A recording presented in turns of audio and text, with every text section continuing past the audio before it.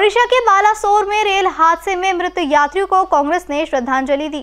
संविधान चौक पर कैंडल जलाए गए वहीं पूर्व केंद्रीय मंत्री विलास मुत्तेमवार कांग्रेस उद्योग व्यापारी सेल के प्रदेश अध्यक्ष अतुल कोटेचा कमलेश समर्थ प्रशांत धवल संजय महाकालकर वसीम खान आशीष दीक्षित धर्म पाटिल रमन पैगवार मिलिंद दुपारे अब्दुल शकील सहित अन्य पदाधिकारी यहाँ उपस्थित थे। कि दो दिन पहले बालासोर उड़ीसा में रेलवे की एक बहुत बड़ी दुर्घटना हुई। और हमने एक रेल को पटरी से उतर जाते हुए सुना था। दो रेलवे के आमने सामने आने से दुर्घटना होते हुए देखा था। लेकिन एक ही क्षण में तीन रेलवे का एक्सीडेंट होते हुए ये पहली बार देखा और वो भी हमारे देश में देखा। और हम ये कहते हैं कि अभी सारे लोगों का जो इस रेलवे को लेकर जो इतिहास सामने आया है तो सौ साल में ऐसी दुर्घटना कहीं नहीं हुई। ना तो हमारे देश में, या तो दुनिया में नहीं हुई। और ऐसी दुर्घटना ये मोदी सरकार के समय में हुई है, ये भी एक रिकॉर्ड हो गया है।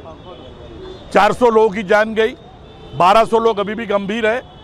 और रेलवे का जब एक्सीडेंट होता है तो उसमें बचने की बहुत कमी रह, बहुत आशा बहुत कम रहती है। इतना भयानक वो एक्सीडेंट हुआ है।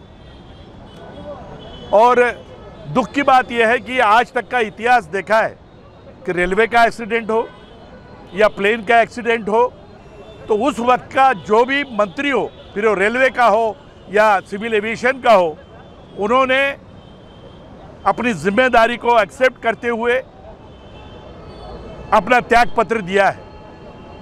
लेकिन अभी तक तीन दिन होने आए हैं, लेकिन त्याग पत्र देने की ना तो रेलवे मंत्री की घोषणा हुई है, ना तो मोदी सरकार की तरफ़ से कोई बात हुई है।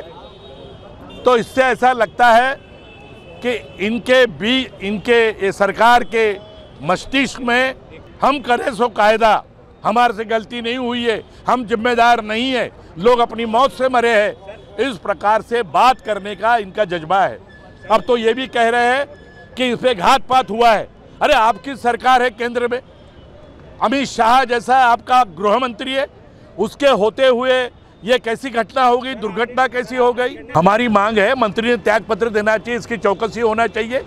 और ये घात पात है तो हुआ कैसा है? आपको किसी खबर नहीं थी इसकी? सारी दुनिया की खबर रहती है। अब तो अब तो दुनिया के लीडर बन बन रहे हमारे प्रधानमंत्री। फिर हमारे देश में ऐसे रेलवे एक्सीडेंट होते रहेंगे।